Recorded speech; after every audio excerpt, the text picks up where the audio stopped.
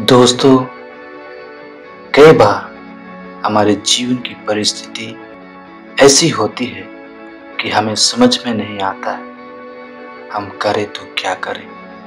अर्थात, हमारा हर सोच, काम और योजना अस्थिर सा लगने लगता है, क्योंकि हमारी परिस्थिति ही बहुत खराब होती है। ऐसे समय में हमारे मन में एक प्रश्न उठता है कि हम अपने जीवन की अनिश्चितता का सामना कैसे करें? इसी संदर्भ में मैं आप सबों को बाइबल से एक घटना बताना चाहता हूँ। नबी जोशुआ का ग्रंथ, अध्याय एक, पद संख्या छ ईश्वर ने जोशुआ से कहा, तुम दृढ़ और मज़बूत बनो क्योंकि तुम ही वो इंसान हो जो इसराइलियों को कनान देश ले जाओगे, जिसे मैं उन्हें देने की प्रतिज्ञा उनके पूर्वजों से किया है। दोस्तों, आज हम जिस विषय पर चर्चा कर रहे हैं, वह है अपने जीवन की अनिश्चितता का सामना कैसे करें।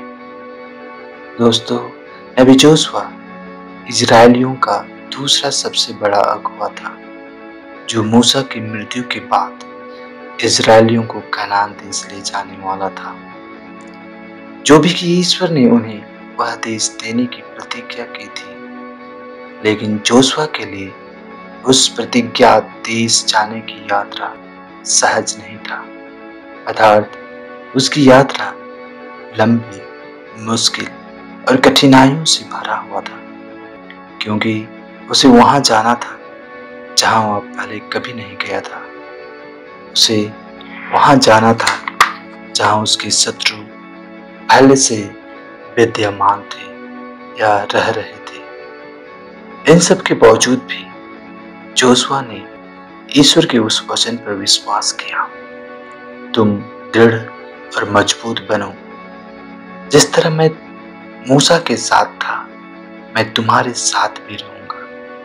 मैं तुम्हें कभी नहीं भूलूँगा, मैं तुम्हें कभी नहीं छोड़ूँगा। क्योंकि जो मेरे करीब रहता है और जो मेरे सानिध्य में जीवन बिताना चाहता है, उसे मैं कभी नहीं त्यागता। वही ईश्वर, जिसने जोशवा के बुरे वक्त में, उसके जीवन की अनिश्चितता में, उसका साथ दिया, उसका साहस और धारस बंधाया, हमें भी हमारे जीवन की अनिश्चितता और बुरे वक्त में हमारा साथ देना चाहता है, हमारा धाड़स बंधाना चाहता है।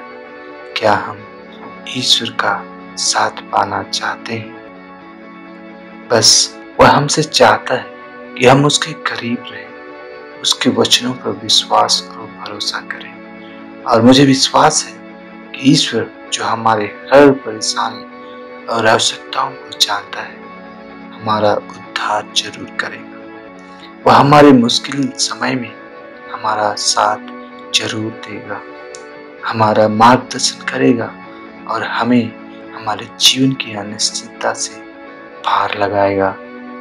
इसलिए मैं फिर से कहता हूँ, अपने ईश्वर को कभी भी नहीं त्यागो। उसके करीब रहो, उसके प्रेरणाओं को अनुभव करो और वह तुम्हें हर मुसीबत से पार लगाएगा। धन्यवाद। God bless you